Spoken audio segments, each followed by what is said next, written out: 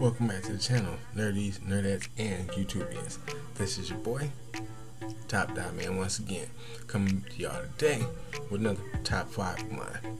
Today, I decided to come with my top five badass chicks that I like from comic book adaptations. Since that title was way too long, I'm just gonna basically put it as my top five bad chicks. So, without further ado, here is your boy Top Dot Man's five bad ass chicks.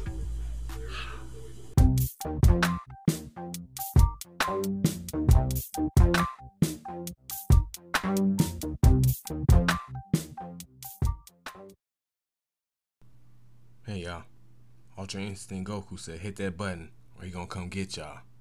Hey, he said it. And tonight we start off with Misty Knight from Luke Cage. Um, lovable gal from Detroit, gotta rep Michigan natives, cause that's where I'm from, of course. So that's why she get that nod.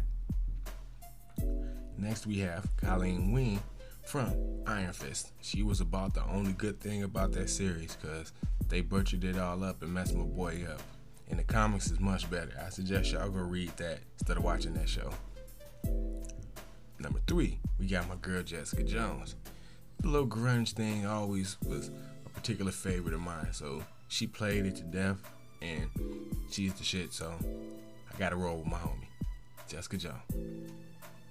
May, most definitely May from Agents of Shield. Not only because she's kick ass, it's because she rules, and she's on the Agents of Shield, which is one of my favorite shows. So y'all just gotta take that.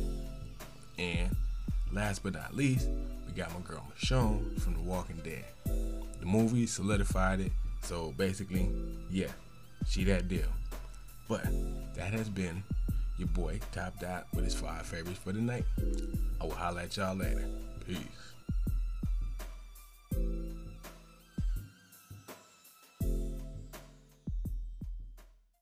Thank you.